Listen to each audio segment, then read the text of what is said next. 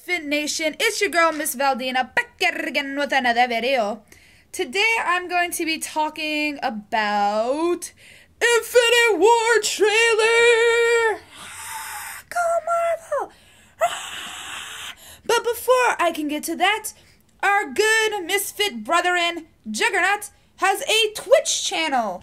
And for those who don't know what Twitch is, Twitch is basically a place where gamers can be geeks without always having to show their face. I think that's what the purpose is. If not, then I'm so lost.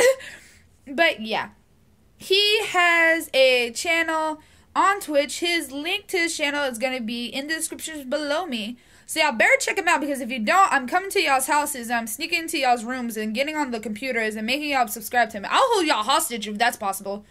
I'll I'll go bin Sama bin Laden on the internet and be like upload to this channel or be blown up. That's actually kind of extreme. What the fuck is wrong with me? but anywho, yes, the Infinite War trailer teaser. I know that's kind of been out for, for a while, but since I haven't made a video in a while, it, it, it's it's kind of pretty cool to talk about. The only thing that kind of irks me about it is that Captain America has a beard. I don't like that he has a beard. No, no offense, but he he was sexier without the beard. He he is completely sexier without the beard, even though he's like a hundred thousand something years old. He's probably like a vampire. Will he be a vampire? Technically speaking, because he's been near supposedly dead for like thousands of years and then came back in like the modern world. I don't know. Put in the comments below. Is Captain America considered a vampire? Because if he is, that's actually pretty cool. And then you have Thanos coming in to destroy the world. I, I don't like Thanos in in in the trailer because he doesn't have his costume. If y'all watched Guardians of the Galaxy, y'all would know that Thanos had a golden costume, and now they don't put his costume on, and now he looks like a bald transformer. Well, I don't know why I said transformer.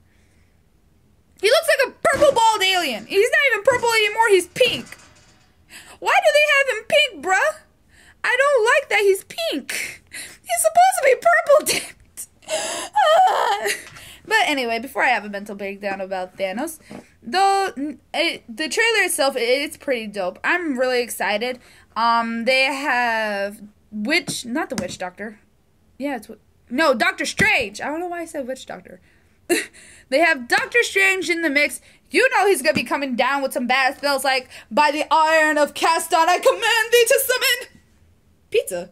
Like, I wish they, I hope they have a version of him summoning food, because then that would be hilarious. And then you have the Guardians of the Galaxy coming into the mix. Mantis, Gamora, Nebula, Rocket, Star-Lord. I forgot who the gray dude was called, which I'm very disappointed in myself in. but yeah, I suggest going watch the movie if you're nerds like me. I'm going to be watching it. I'm going to have a huge thing of costumes on my clothes. Supporting Marvel because Marvel's dope. It's dope. I'll wear my skirt. I'll wear my beanie. I'll, why did I put my beanie to my shirt? Guys, help help help out your girl. Your girl's getting your girl's going crazy. Your girl's going crazy. Anyway, like if you want to see more of my weird pretty face. Subscribe, comment, and if you don't have a notifications button, update your craps and get that notifications button. Until then, my misfit, my misfit nation, I am out.